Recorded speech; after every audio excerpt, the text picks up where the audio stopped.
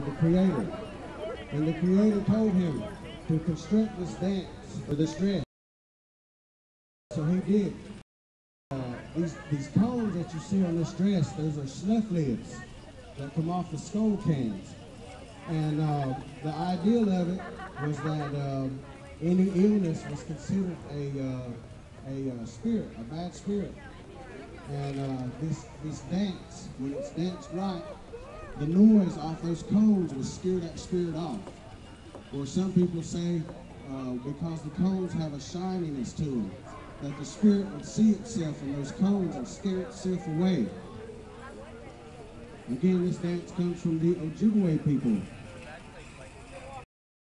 Dance.